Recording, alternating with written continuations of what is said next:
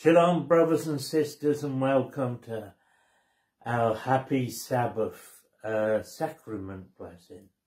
Brother Carl's with us again, and we're at his his bungalow in Claycross. We just decided to call it Camelot. and it's really good to be with you today as we we uh, bless the sacrament. So I asked if ye have your uh, bread and wine ready. Carl's about to light the peace candle and it's a real one. There we go, candle of peace. And I think Kyle's going to say the opening prayer for us to invite the Spirit. Good morning, brothers and sisters. Welcome to our happy Sabbath. I ask in the name of our Saviour Jesus Christ that you will all be blessed this day, that you will enjoy this pod broadcast, that all sufferings, miseries and diseases throughout this world, hatreds, animosities will cease. I say this truly in the name of our Lord and Saviour, Jesus Christ. Amen. Amen. Yes, the, the Spirit's with us now. He's joined us. And uh, on this day, as we get ready to see uh, the new year in tomorrow is, I think it's New Year's Eve tomorrow morning. Yeah, 31st. Yep, so um, we look back on 2023 and uh, well, I think in 2023 I moved to my new bungalow and it's the same for Kyle and we we feel a bit better where we are now. Uh, things that are going on in the world are not too good uh, with the wars and stuff, and they don't seem to be getting any better. But we can pray that there will be peace, and but I think the only way they can have peace is people having compassion for each other and uh, getting to know each other a bit more. So, Lord, as we come to the sacrament and you can find the sacrament prayers in uh, Moroni, which is the last like chapters in in the Book of Mormon, and uh, yeah. So the Book of Moroni, chapter one. So chapter one, chapter two, and it's chapter three which uh, gives us how we can say the sacrament. Hang on, I might be wrong. Yeah, it's chapter 5 in the, the book of Moroni. And uh, the manner of administering the wine, or the wine, behold, they took the cup but it's in chapter 4 where the bread is uh, is shared. So if you'd like to bow or kneel, I'll say the blessing on the bread. Mm-hmm. If you want to do the, wine, yeah, yeah, or water. So Moroni chapter four, and if you go down to verse three, this is where the prayer starts. And I shall say that, I shall say it after that. After Yeah. At this time, we welcome all present to Christ's table. We invite all who would participate to do so as an expression of the peace and love of Jesus Christ, in whose name we worship. The Lord's Supper is a sacrament, a time to focus on the life, death, and resurrection of our Lord and Savior. Jesus Christ. As disciples of Christ, we renew our covenants and recommit together to his mission to grow closer to Jesus Christ as individuals and as a community, worshiping Jesus Christ through God's Word, the sacraments, ministry, outreach, Kabbalah, and Jubilee. We encourage all that are worthy to receive communion to do so frequently and devoutly. So if you'd like to bow or kneel as we prepare to read this. O God, the eternal Father, we ask thee in the name of thy Son, Jesus Christ, to bless and sanctify this bread to the souls of all those who partake of it, that they may eat in remembrance of the body of thy Son, and witness unto thee, O God the eternal Father, that they are willing to take upon them the name of thy Son, and always remember him and keep his commandments, which he hath given them, that they may always have the Spirit to be with them. Amen. Amen.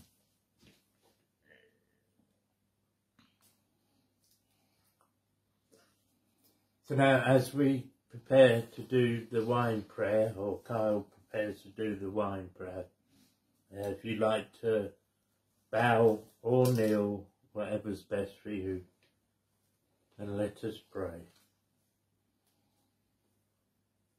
O God, the eternal Father, we ask thee, in the name of thy Son, Jesus Christ, to bless and sanctify this wine to the souls of all those who drink of it, that they may do it in remembrance of the blood of thy Son, which was shed for them, that they may witness unto thee, O God the eternal Father, that they do always remember him, that they may have his Spirit to be with them.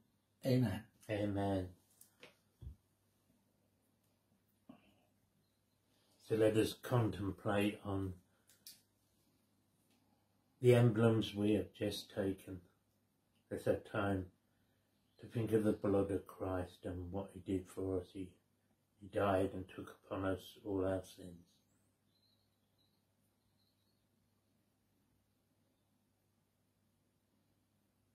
Hi, my name's Jay, and I was asked to speak about how we each kind of go through struggles, and yet we all have a path to follow. It is individual to ourselves, and we are not just meant to blindly step. We are meant to, yes, walk in faith at times, but to do what we are asked to do and to be open to understanding what that is and what that means. My number one priority is to try to seek the Spirit and understand what my role is, my personal role, what Jay, what, what there is for me. And that is of utmost priority. I'm not a fan of autopilot and kind of a default of this is what you always do. I think we need to engage in our lives and not be AI, not be autopilot, not just follow for the sake of following, but do things with intention, with clear connection of what we need to do next, and engage in that and be willing to ask for guidance and follow that guidance and know that what what's right for someone else or a lot of other people might not be right for me. I have had a few exceptions in my life. I had a situation where um, I was inspired by the Spirit to not wear my seatbelt that day, and it saved my life. I am somebody who has always kind of found that I'm not seeking the exceptions to the rule, but sometimes they seem to find me. And I don't always know every answer, but I am willing to look a little deeper than a lot of people are and say, is there another perspective here that I might not have automatically looked at had I just been an autopilot? had I not truly connected with spirit. And when I was growing up, we had a lot of multiple choice tests. And um, at one point, I was told, if you're not sure, go with the answer C. And I don't know why I'm kind of connected to that, but obviously, you can associate C with the word Christ or clarity. You can also associate C with the other concept of S E E. It's not C as in the letter C, but C as in look. And sometimes I think we need to look more, whether it's in the media and the story about Israel going to war. Yes, there are people on both sides that are having conflict and causing conflict. But I would wonder if it's, hey, we are the victims here, and how much we need to look at the whole story. I've had multiple points in my life where, without gathering additional data, I would have made poor choices had I not taken the time and questioned. And I encourage you to question for you, just like Noah wasn't told to go to Nineveh, Adam wasn't told to get the golden plates uh, or, you know, the Ten Commandments. For each time we are told something that we need to learn, a message for just us. And I think it's really important to be open to that message and aware and see and look for things that are just for us because each of us has a calling, each of us has a purpose. And we are not alone. There is a spirit there to guide us if we are open to learning from it and studying out our options and really looking at other perspectives. I grew up in a church situation where I assumed certain things were true. And I have since learned that not all of those things that I believed were true are. I have seen people who were higher up in the church make some very poor decisions, and that on some level, a church and many churches are much more about a corporation and protecting their growth than they are about people or Christ or love or compassion. And I would encourage each of us to seek to look at the big picture. And I'm not saying in any way that you shouldn't have a church or shouldn't seek a community of common believers. But there is a part of it that I would encourage you to keep your eyes open, to keep your heart open, to be willing to learn something different than you already knew. Because our lives are about progress and growth and learning. They are not supposed to be simple. If we have gifts and talents, we are supposed to use them and multiply them. One of my favorite parables is about 10 talents. As you know, in the scriptures, it talks about how the, the master essentially went away and gave one of the servants five talents. And at this point, talents were gold coins. And one of them, two talents, and one of them, one talent. And they were asked to multiply them. And the master went away, and then the master came back and said, You know, what have you done with the talents I gave you? And the one who had five had invested it and multiplied it and made it 10. The one who had two invested it and multiplied it and made it four.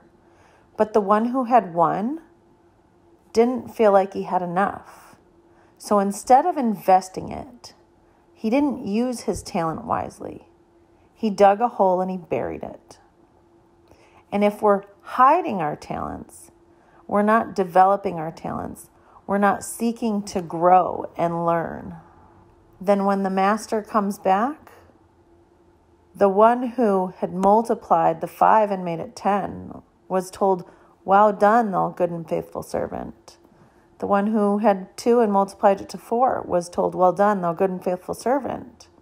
And the one who had one, who buried it, he said, You know, I could have at least got interest had I sent it to, you know, the the bank essentially. You didn't do anything with it. I'm going to take it away and give it to the one who had 10. Because instead of using it, instead of challenging yourself, you just buried it whole and tried to protect yourself and protect it. And it's not about staying where we are, it's about growing and learning and building and progressing. And life is not always fair. Some of us are given five talents, and whether that's monetary or whether that's gifts or whether that's, you know, connections with the Spirit, whether that is five talents or two talents or one talent. We are all asked to multiply it. We are asked to progress it and grow it and develop. And as we do that, we will be blessed. But we need to take the initiative to grow, to learn, to progress, and to look around at options that are potentially wise options. Had it at least been invested and lost, there is a part of, yes, we want to take smart risks, but we all have to take a chance at some point and not just hold back and only do the things the way they've always been done. We need to take the opportunity to progress ourselves and learn how we can grow and progress. I know that for me, I have felt alone at times when I've kind of not followed the rest of the group. I know that I have been shamed or shunned at times. Um, I've been told that I'm not good enough or that I'm doing something wrong. But when I follow the Spirit, I know that I am rewarded greatly for it. And each of us has that opportunity. And it's it's scary sometimes. It's a bit uncomfortable at times to be told that you're not doing it the way it's always been done. But we are asked to grow. And sometimes that means making changes. And I encourage you to be open to the Spirit and the changes that can come as we seek to see as the Lord sees and to grow and to take chances and know that while we feel alone, we are not alone. We can be connected through spirit and through community and know that there are others like us. Even though we don't see them, we must work as individuals and as a community to progress to a point where we can understand what we are called to do. There are both individual callings and group callings. And sometimes we have to step away from the group. So know that you are not alone. There will be struggles, there will be challenges, there will be difficulties. But as you pray and seek to understand the Spirit and are open to the guidance and have faith and are willing to go and do the things the Lord commands, you will be blessed. It doesn't always make sense. It is not always easily understood how protection comes. You will not always see it coming, but it is there. And it is available to you as you seek to understand the Spirit and follow that guidance and direction. Each of us has gifts, and we are asked to use them and multiply them. There are the seven deadly sins. And I will tell you that I look at people sometimes and I'm like, wow, they have something that I don't have, whether it be a gift or money or whatever it may be. And we do need to remember to use what we are given to multiply. It's not about being out of control and angry and taking what is someone else's. It's about using what we have and being happy with it to progress ourselves. And as we do so, we can avoid the downfalls that come with sin and be at peace with what we are asked to do as individuals. There are so many blessings available to us if we continue to seek the will of God and understand who we are as children of God. I say these things in the name of Jesus Christ. Amen. So that brings us to the end of our sacrament service today, and uh, as it's coming towards, it'll be our last one until next year. So we'll mm-hmm. see you next year. Shalom, brothers. God Shalom. bless and see you next year. Shalom, brothers and sisters. God bless and See you next year. see you next year, and and let's have God's blessing for that year for us.